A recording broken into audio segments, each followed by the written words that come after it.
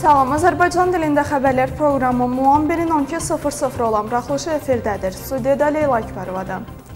Gürcüstanda 1186 yeni koronavirusa yoluxma halı qeydə alındı və yoluxanların ümumi sayı 18663-ü təşkil edir. 7 pasiyent vəfat edib. Bu barədə Tbilisi yoluxucu xəstəliklər xəstəxanasının boks sirkli şöbəsinin müdiri Marina Enzeladze bəyanat verib. Onun sözlərinə görə daha 278 pasiyent sağalıb. Dünən Gürcüstanda 1192 yeni koronavirusa yoluxma halı aşkar edilmişdir. Bugündən Tbilisi, Kutaisi, Zuqdidi və Poti ali təhsil müəssisələri universitet məkanlarında praktiki laboratoriya işləri bərpa edəcəklər.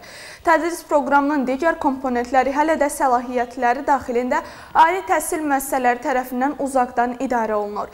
Tədris prosesinə demək olar ki, icazə verilib, lakin universitetlər tərəfindən müəyyən qərarlara əsasən vafiq şəkildə hibrid rejimdə davam edəcək. Bu barədə Əmək Təhlükəsizliyi Təftiş Şöbəsi müdiri B.K. Peradze bildirdi.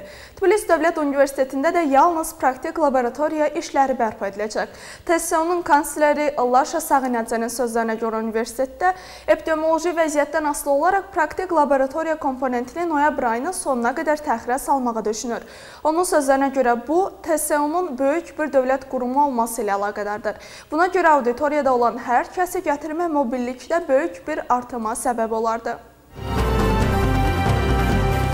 Koordinasiya Şurasının qərarına əsasən 3 gündür restoran və kafe barların işi 22.00-dan sonra məhdudlaşdırılıb. Səhiyyə Nazirliyinin Əmək Təhlükəsizliyi Təftiş Şöbəsinin müdirinin sözlərinə görə artıq 11 qayda pozuntusu aşkarlanıb. Onlara 10 min lari miqdarında cərimə kəsilib. B Kooperasiyanın sözlərinə görə mütəmadi olaraq planlaşdırılan monitorinqlər aparılır və pozuntuların təkrarlanması halında cinayət məsuliyyəti tətbiq olunacaq.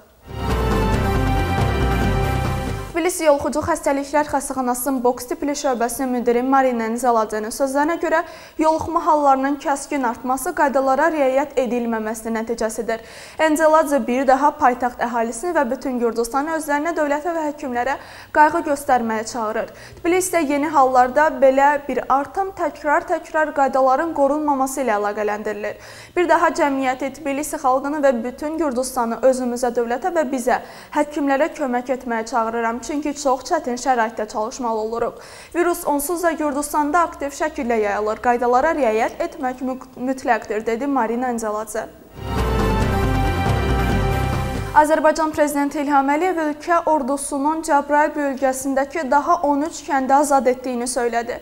Yerli kütləvi informasiya vasitələrinin verdiyi məlumata görə İlham Əliyev bu barədə Twitter sosial şəbəkəsində yazıb. Azərbaycan Müdafiə Nazirliyinə görə düşmənin çox sayda canlı qüvvə və hərbi texnika itkisi var. Bakı Ermənistan ordusunun motorlu tüfəng legionunun 527-ci batalyonunun döyüş əməliyyatlarında iştirak etməkdən imtina etdiyini açıqladı.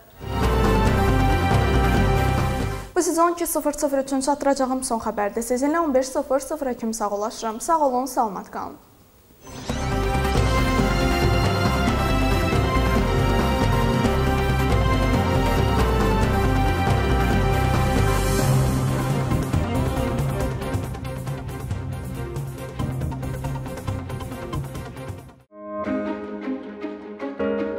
Seçkilərdə iştirak etmək hüququna 18 yaşına çatmış Gürcüstan vətəndaşları malikdirlər.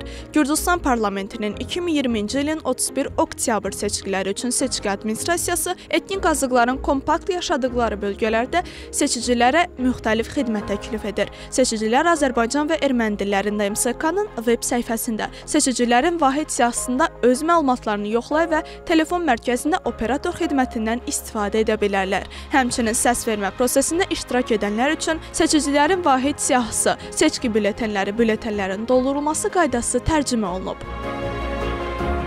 Sənin seçimin qanundur. MSK